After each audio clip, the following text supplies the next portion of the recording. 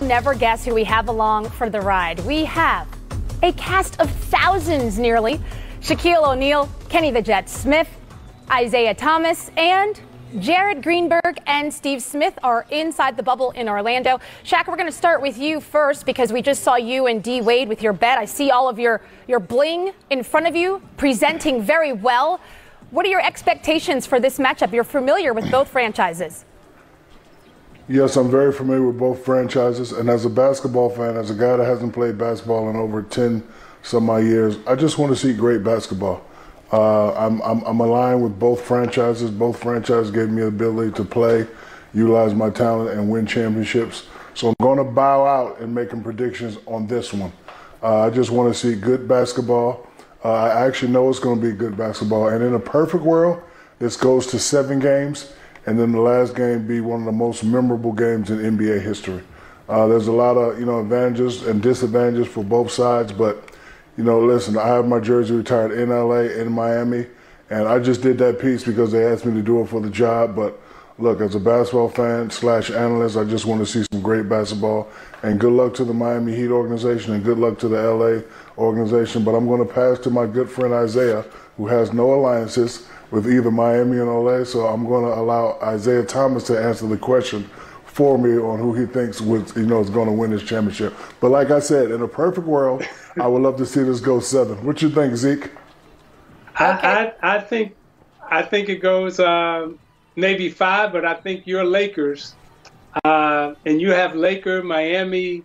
All of y'all have the same culture, so it, it really doesn't matter who win. But let's just say this: the the traditional Laker culture will win the championship because the Laker culture is in the Miami Heat, and so are you, Shaq. I mean, you, you and you in LA and Miami, so you win either way it goes. Okay, and Kenny, we were gonna we're gonna get to you shortly, so don't get too excited. Hold on. We want to get to this role because we want to show you guys all of the things that LeBron James has done in the finals. We know that it's been spectacular, starting back to his first appearance in the finals in 2007. A young pup, the age of 22, Spurs swept. Then in 2011, his first season with the Heat ended with the finals loss in game six to the Dallas Mavericks. On to 12 and 13, won his first title in 2012, defeating OKC. And then in 2014, the Spurs got revenge, downing LeBron James. 2015, the Warriors defeat the Cavs 4 to 2. And then moving on to 2016, LeBron James and the Cavs had an amazing comeback from a 3 1 deficit against the Warriors. And then 17 and 18, Steph and KD took down LeBron's Cavs in back to back years. LeBron James has no extra motivation, he says, in playing his former team. Let's listen. No extra uh, meaning to winning a championship, no matter who you're playing against. It's already hard enough to even reach the finals, um, to be in this position. So if you're able to become um, victorious out of the finals, it doesn't matter who it's against. It's probably been the most challenging thing I've ever done as far as a professional. I would be lying if I sat up here and knew that everything inside the bubble, would, what it would, you know, the toll that it would take on your mind and your body and and everything else. You know, I'm, I'm here for one reason and one reason only, and that's to compete for a championship. I've been as locked in as I've ever been in my career. Okay, you heard him talk about the mental toll, so that leads us right inside the bubble. Jared Greenberg, Steve Smith, I remember doing my time down there in Orlando. It is a struggle to survive mentally and continue to work. So, to you, gentlemen, what say you about life inside the bubble? Well, Stephanie, uh, you know, you know this how different it all is down here. We know it's a new normal. You've heard all the cliches, but I just want to put it in perspective for people.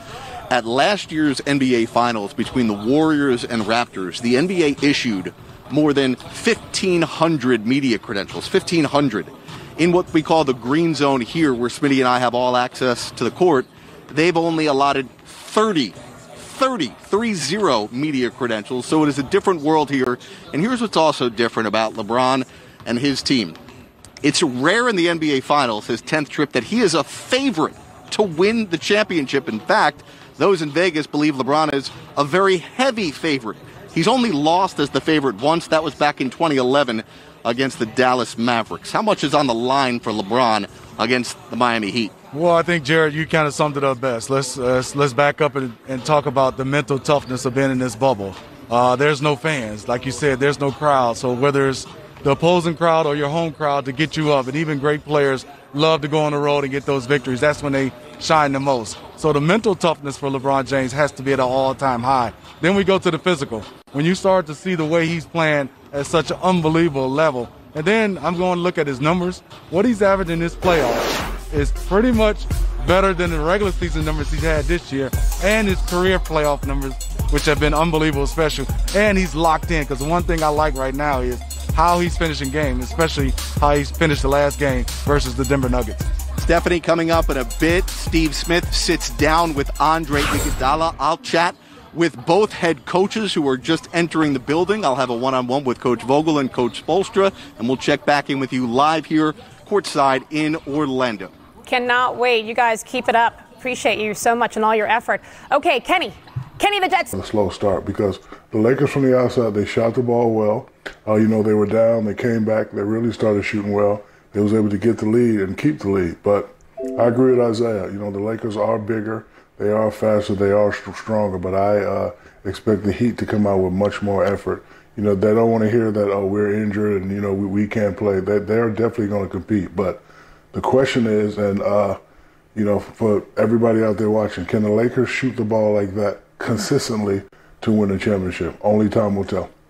Well, you brought up the master of adjustments and head coach Erik Spoelstra for the Miami Heat. Let's listen to what his post-game comments are. On uh, Goran or Bam, um, you already probably have the statement from uh, TD. Um, but regardless, uh, the Lakers set, you know, the, the tenor, the tone, uh, the force, the physicality. Um,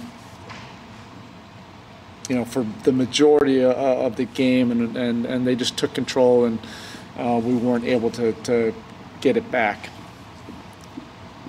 First question here in the room, Tim on the right.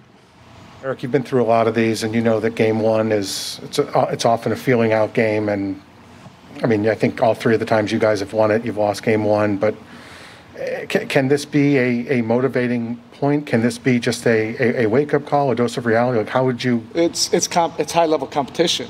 So you have to do things with force and, and detail. Um, and it, you know it's a cliche, but every single possession counts. And um, there were you know there was too many possessions where it was either a poor offensive possession or a miss uh, that led to a couple poor possessions defensively, or vice versa. Um, and you know those stacked on top of each other can get away from you pretty quick uh, quickly against a, a, a, very good team like this. We're much better than we showed tonight. Uh, you do have to credit the Lakers, and we'll get to work. Uh, Malik, oh, sorry for the next one. Malika Andrews.